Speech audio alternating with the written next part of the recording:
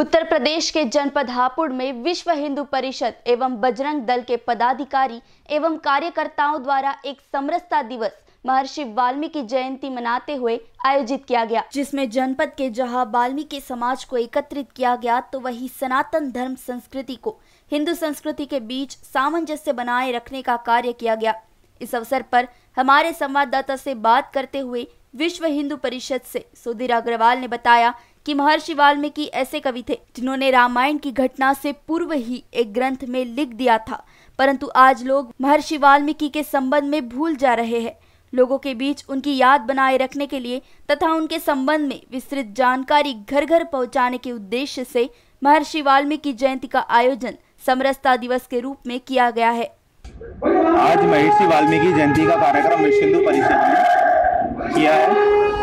आज जो हमारे आदि कवि हैं, जिन्होंने एक जीवंत महाकाव्य की रचना की थी, श्री महर्षि वाल्मीकि जी, उनके उपलक्ष्य में, उनकी जयंती के उपलक्ष्य में आज ये कार्यक्रम किया जा रहा है। किसी राजनीतिक द्वेष और जिन राजनीतिक दलों से अपेक्षा जो की जाती थी कि हिंदू और सनातन संस्कृति को एकजुट किया जा सके, आज उसी को आधार मान करके विश्व हिंदू परिषद सभी समाज को एकत्रित करने का कार्य कर रहा है और उसी के उपलक्ष्य में यह कार्यक्रम आयोजित किया गया ये आज जो कार्यक्रम है, समरसता दिवस कार्यक्रम है महर्षि वाल्मीकि जयंती के रूप में हम इस कार्यक्रम को मना रहे हैं और ये जो कार्यक्रम है, विश्व हिंदू परिषद जिला हापुड़ इस कार्यक्रम को कर रहा है।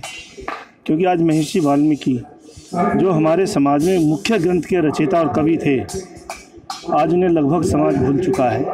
तो विश्व हिंदू परिषद ने ये बीड़ा उठाया है कि महर्षि वाल्मीकि को घर घर तक उनकी पहचान को उन्हें पहुँचाया जाए, ताकि सभी लोग ये समझ सकें कि रामायण को लिखने वाले वाल्मीकि किस तरह के व्यक्ति थे और उन्होंने किस तप के माध्यम से रामायण को, रामायण की घटना से घटने से पहले ही लिख दिया था? तो सिर्फ़ इस उद्देश्य से, इस समाज को जोड़ने के लिए, हिंदू समाज को एक रखने के, यह विश्व हिंदू परिषद का एक प्रयास है, जिसके लिए आज हमने ये कार्यक्रम किया है और हापुड़ ज़िले के लोग इस कार्यक्रम में उपस्थित हुए हैं। ये हिंदू विचारधारा को जो मानने वाले संगठन हैं, उनके द्वारा ये कार्य हो रहा है।